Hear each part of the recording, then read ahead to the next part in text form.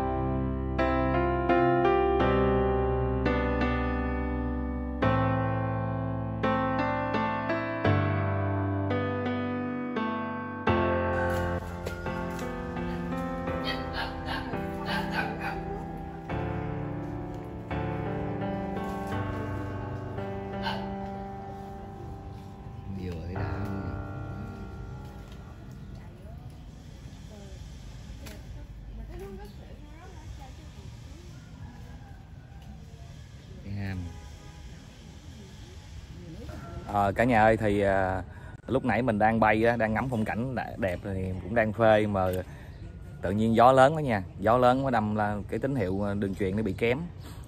Đâm là mình không không có dám bay xa hơn nữa. Mình phải bắt buộc phải quay quay về cả nha buồn ghê đang ngắm cái phong cảnh đẹp mà gió lớn quá.